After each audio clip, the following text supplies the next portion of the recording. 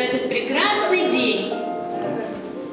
У каждого времени свои радости, свои краски. Весна радует первой зеленью, лето – изобилием красок, цветов, свежестью. Осень радует нас своей щедростью, а зима – белым пушистым снегом и бодрящим морозцем. Вот так, наверное, и в жизни человека. Юность всегда полна надежд и любви. Зрелые годы – пора расцвета, творческих сил, пора свершений, забот о детях и внуках. Да, бежит наша жизнь, летят незаметно дни. Грустно на душе становится от мысли, давно ли были молодыми. Но давайте в минуты грусти будем просто улыбаться, ведь улыбка — это молодость души. Сейчас давайте все вместе улыбнемся и вспомним радостные моменты прошлого, вспомним про любовь. Летят года, но не беда, о том не стоит волноваться. Не зря Вахтанг поет слова «Мои года, мое богатство». Мчатся годы быстро, без оглядки, тают словно дым. Вам желаю на любом десятке оставаться сердцем молодым.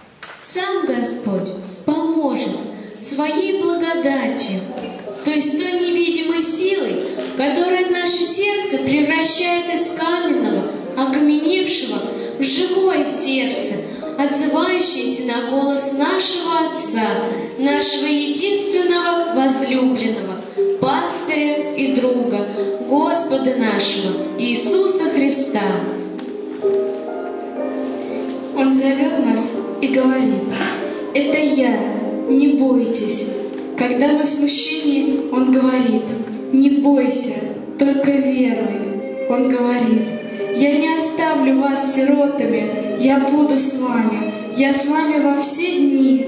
Значит, всегда Его искать, постоянно к Нему обращаться, постоянно к Нему стремиться, постоянно желать всей душой жить с ним, в нем и для него. Вот залог настоящей жизни. Тогда придет и уверенность, и здоровье души, и все станет на свои места. Хочется, и лада, стремление праведно понять. И надо жить, и верить надо, а с прошлым нить не разорвать. Плыть по течению невозможно, душа бунтует и горит. Что в жизни истина, что ложно, быть может, кто-то объяснит.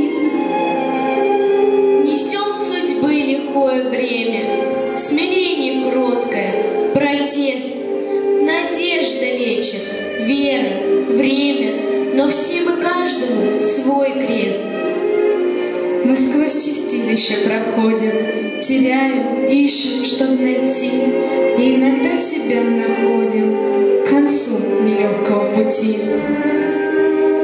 При самом сотворении своем вас всех приветствовать.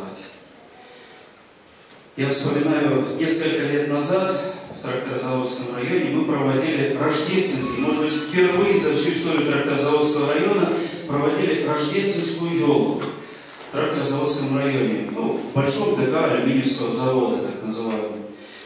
Ну, думаю, ну, придет сколько там людей, ну, сейчас же время такое, думаю, придет немного, наверное, людей, ну, и вышел с приветственным словом. Когда посмотрел, увидел, там два этажа, портер, еще два этажа. Забиты, а люди все идут и идут. Я немножко даже испугался. Но с другой стороны, я почувствовал, что вот настолько человек действительно изголодался. Изголодался по нормальному слову, человеческому, по слову, которое исполнено какого-то тепла, любви, не лицемерия. Вот. И, конечно, понял, что все это необходимо. Нам с вами необходимо. И мы друг другу необходимы, мы друг другу нужны. И вот сегодняшняя встреча, сегодняшняя встреча, сегодняшний концерт, это, знаете, как объяснение в любви. Я хочу, чтобы это было воспринято именно так. Как объяснение в любви. Кому, в чем? Человеку, от человека человеку.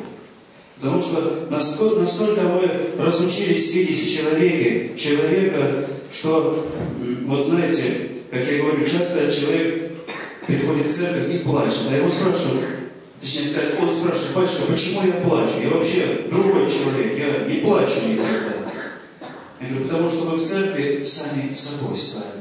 Идете вы к начальнику, вы надеваете одну маску, чтобы вести с ним по-особенному. Идете к врачу, вы принимаете другую маску.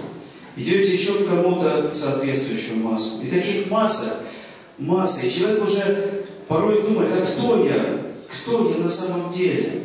Я сейчас в маске или я образ? И вообще, если я образ, то я чей образ? Вот святой, в честь кого назван переход, который находится на территории Волгоградского областного геронтологического центра у вас дома, здесь. Это особенный святой. Мы с вами знаем святителя Николая Чудотворца.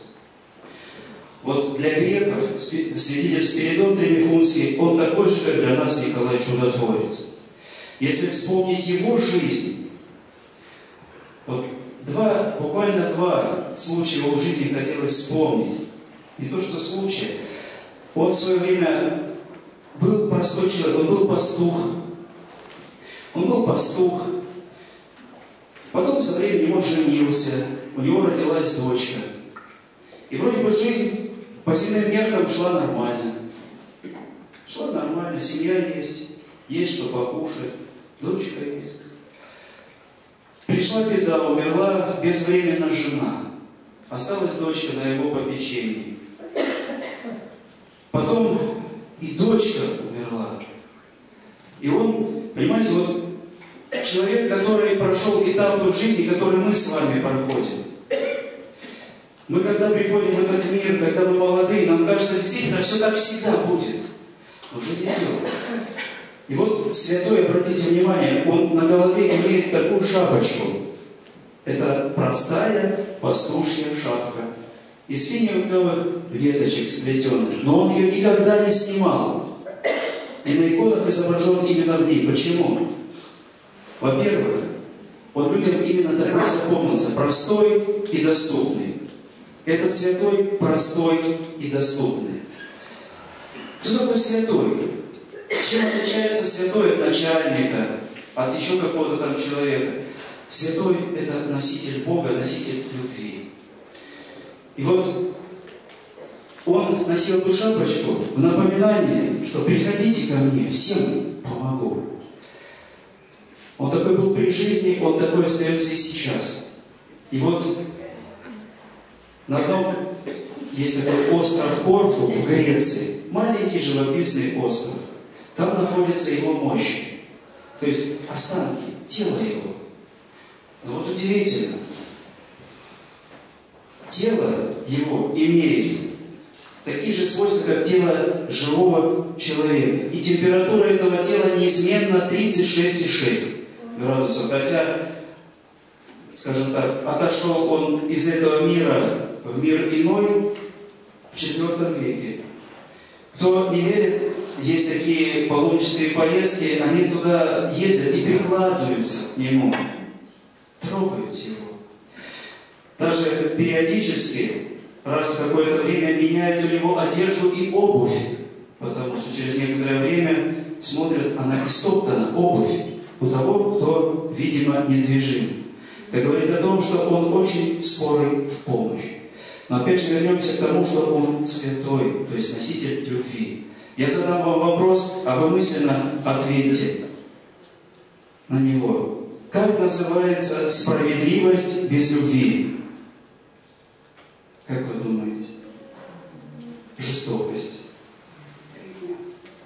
Справедливость без любви есть жестокость. И любое, любую добродетель, любое доброе качество назовите и отнимите от него любовь. И вы увидите, что это изменится до наоборот. Часто и человек – это Божий образ, это Божье создание. И посмотришь на человека, и кажется, вот замечательный человек, а подойдешь, попросишься о чем-то, обратишься к нему, и в ответ мы видим, что перед нами как не человек какой-то находится. Почему? Потому что мало любви. А что такое любовь? Вот Священное Писание, Евангелие говорит, что Бог есть любовь. Бог есть любовь. Где есть Бог, там есть любовь. А где нет Бога, там нет любви. И святые – это маячки в мире. Таких маячков все меньше и меньше становится. Но нам надо держаться за этих маячков. Я очень радуюсь, искренне радуюсь, что в вашем доме есть храм, приход, который носит имя этого замечательного святого. Очень простого, очень доступного. Я, конечно, желаю молитвенно, желаю от Него помощи вам.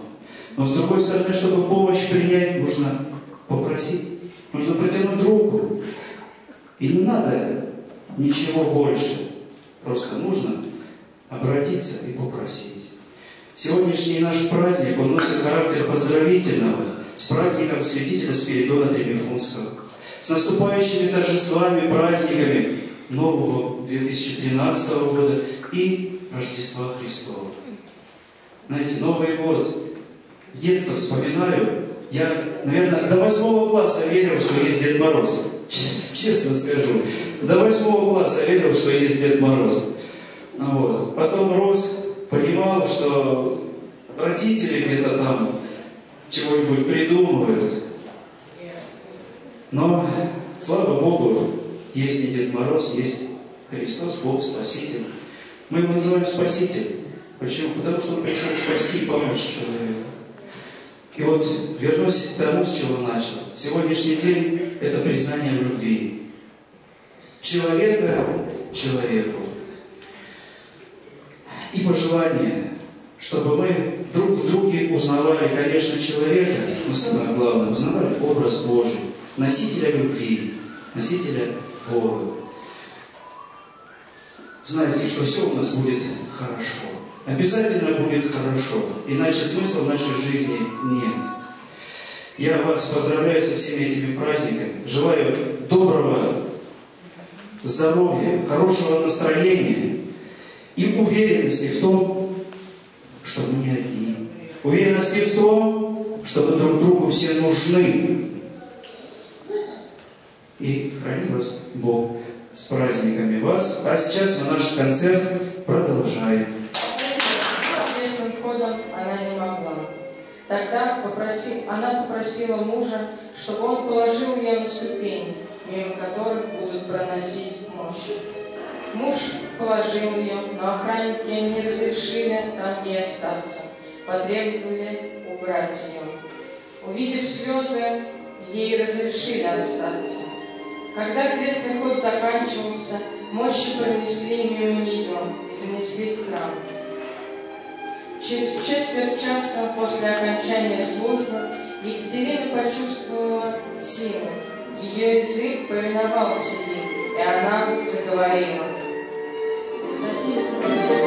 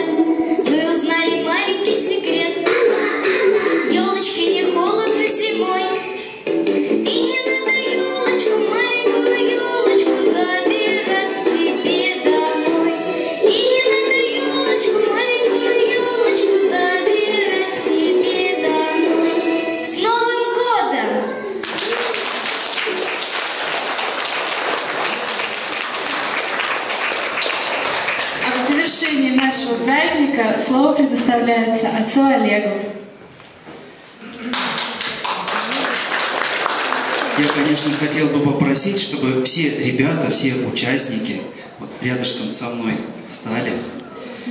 Вот. Подойдите, ребята, пожалуйста. Мы, мы сила, когда мы вместе, да, это, правда, уже в политический лозунг перешло, но это нормальная, естественная, это истина.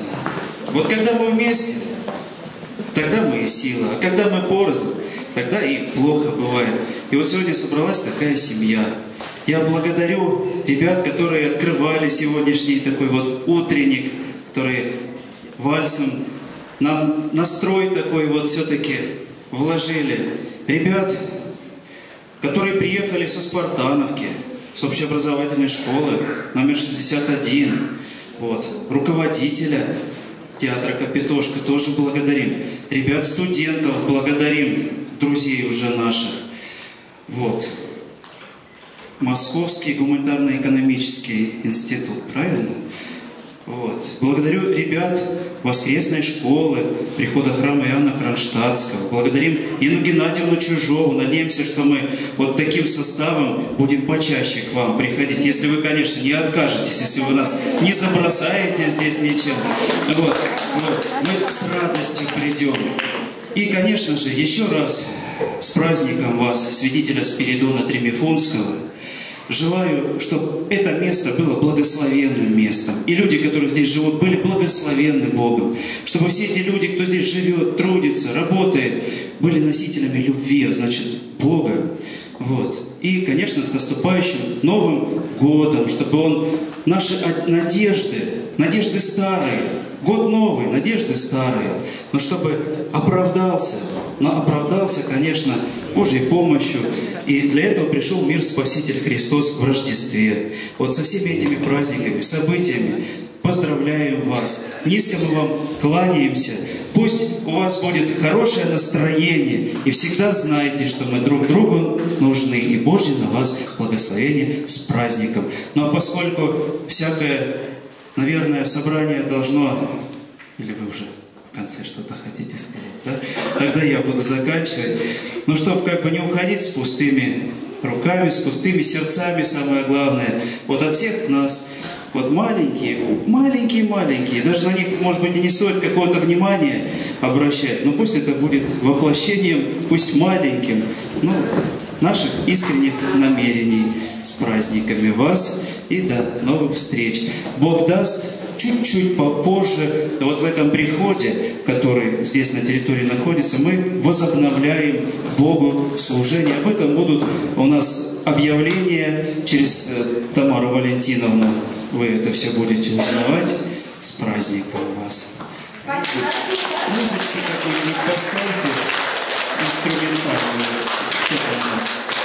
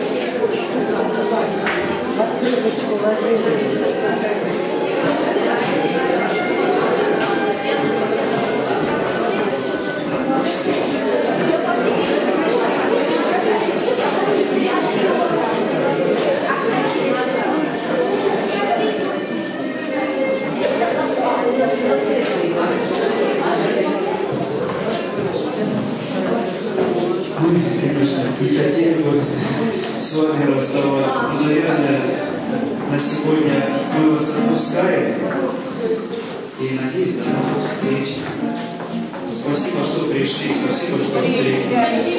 Спасибо вам.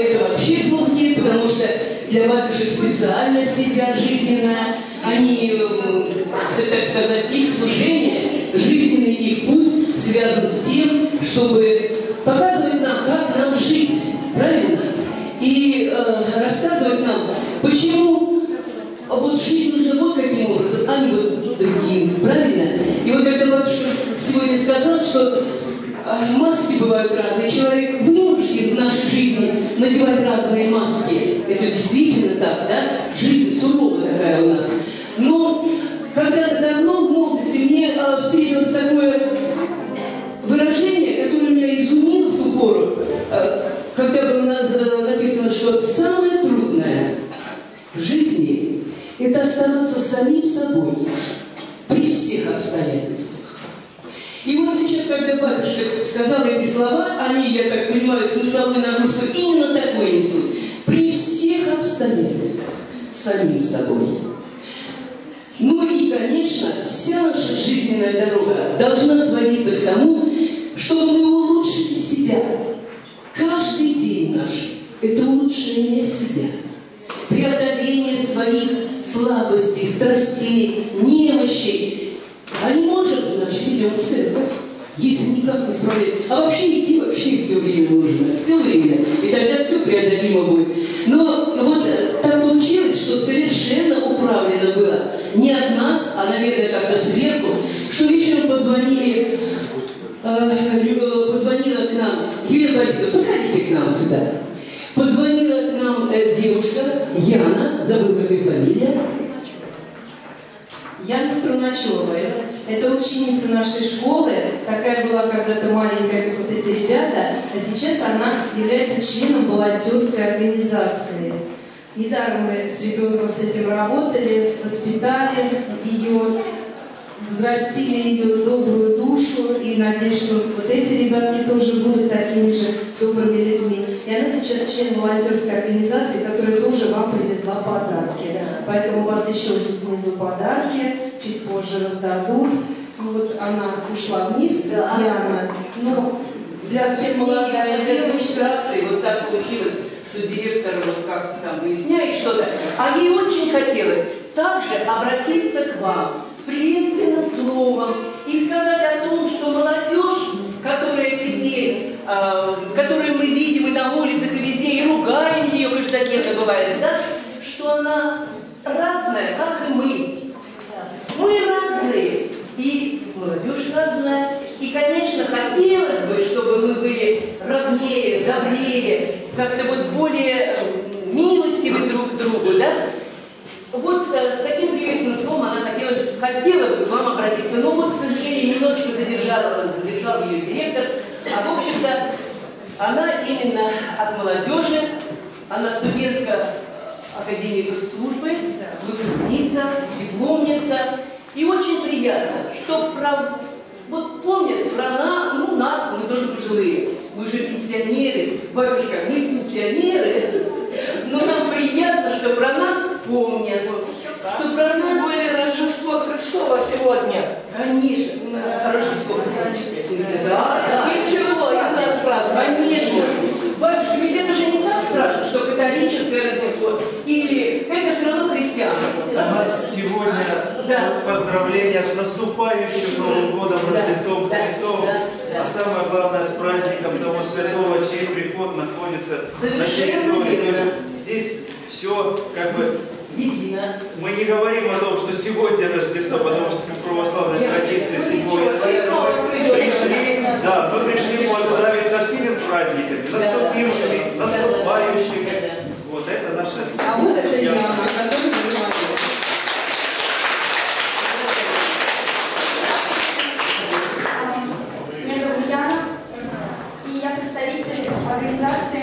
Волонтерской организации «Старость в радость».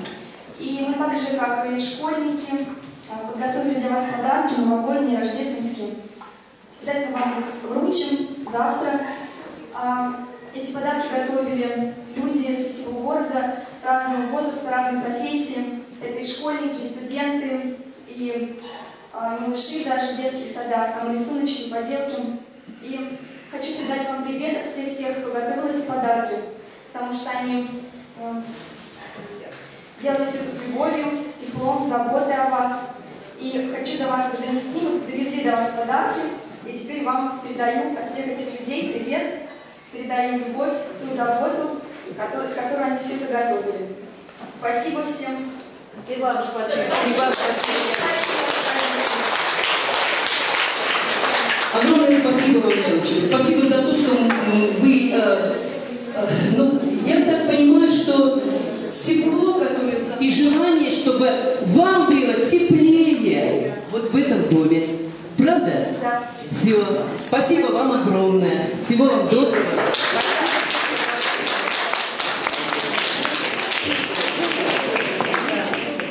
Ну что, всем, кто собрался, огромное спасибо за все, что вы услышали, за то, что вы поддерживали нас. Спасибо большое. Thank you.